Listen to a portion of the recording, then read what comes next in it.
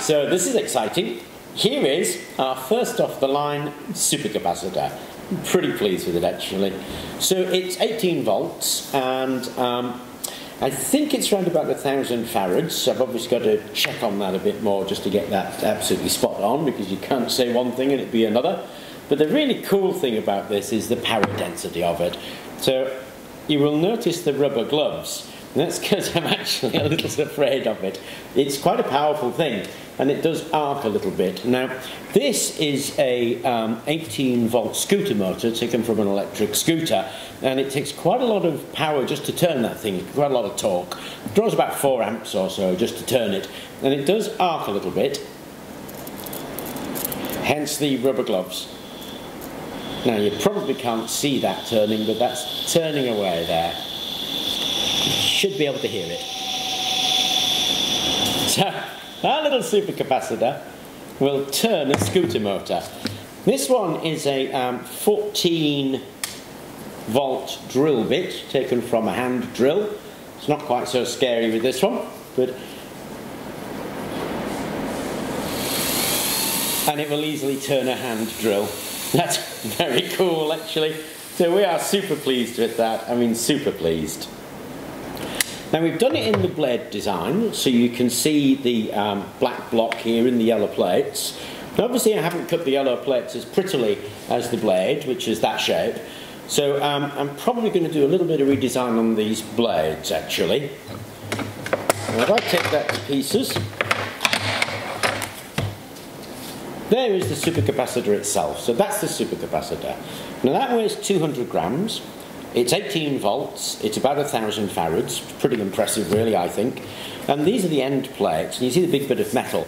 That slaps on that end plate there. That is the connection to that plate here is where the actual connection is made. Now it's made up of a whole series of these things, which are the individual cells. So the individual cell is two of those plates, bit of carbon, electrolyte separator, another bit of carbon, another plate, and then we just build those up to make our supercapacitor. So that is the finished device. That's what's going to be done. Now the difference between the supercapacitor and the battery isn't anything in terms of construction. They're the same size, same construction. It's just that one of these materials in the battery changes. Obviously, the difference between a battery and a supercapacitor is there's a lot more power density in a supercapacitor. It can really chuck out a lot of energy to begin with, whereas a battery tends to be much steadier. So they're, they're different things, different functions, different jobs that they do. But there's our supercapacitor, and that's the first off the line, and that's what's going to go up for sale. Now, we're going to put that up for sale through our shop or on eBay, and it'll be in the next couple of weeks. The main reason for that is uh, I need to tie down the specifications of it so that we know exactly what's on that. So like I say, it's around about a thousand farads. I need to test that and make sure I've got that spot on. Um, we need things like what the ESR is. Now the cycle life is thousands actually, tens of thousands, because it's just two carbon plates. It doesn't need balancing, so there's actually um, 10 cells in there, so each cell is 1.8 volts, that's got 10 of them in there. And it doesn't use electronic balancing because it uses chemical balancing. So there's a, an additive in there that acts to cycle around once it goes above 1.8 volts, and that spreads it across all of the cells so the whole device, in fact, balances itself. So we don't need electronic balancing, which is kind of really cool. There's a few of the specs that I need to actually sort out before I say what they are, really, just because whenever you say something, people hold you to it, so I want to be right when I say something. In terms of its actual size, it's um, 12 centimetres by 12 centimetres by 0.8 uh, of a centimetre thick. So that's the volume, and the whole device weighs 200 grams. So that's the 200. That's the entire device, and it's got that energy density on it. Now I did look up um, competition on this, and on Alibaba they were advertising a Maxwell supercapacitor at 16 volts and um, 500 farads. And they said it was 20 centimetres by 20 centimetres by 22 centimetres, and they reckoned it weighed four and a half kilos. I'm not sure if that's right or not. Uh, it seems a bit odd, actually, but, but that's what the specification was, and so I compared it to that. But if I think about it in terms of um, something like a green cap farad for um, capacitor, for instance, that's 500 farads at 2.7 volts, weighs about uh, 60 grams or so. So the whole thing of this would be about 600 grams if I made it out of um, um, green cap supercapacitors. Um, so I guess about a kilo sound about right for the competition. So ours is 200 grams, much, much smaller against a sort of about a kilo or so, something like that. So what we're going to do now, obviously, is uh, do a little bit of redesign on the plates so they look nice, um, which obviously isn't going to affect the performance a jot, but a little bit of redesign so you get a pretty device.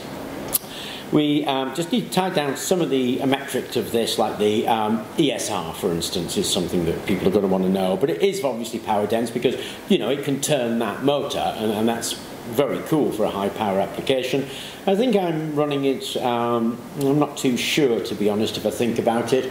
I can get about 30 milliamps out of one square centimetre, and one square centimetre weighs 0.02 of a gram, giving you some idea of what the amps per gram would be that this thing can kick out. So it's pretty cool what it kicks out.